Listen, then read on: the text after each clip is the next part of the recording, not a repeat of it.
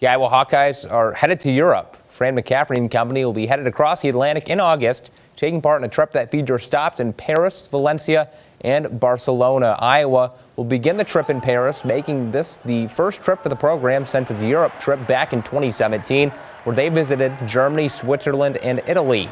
During the trip, the Hawks will play three games over an 11 day span. The opponents for those matchups are set to be determined at a later date.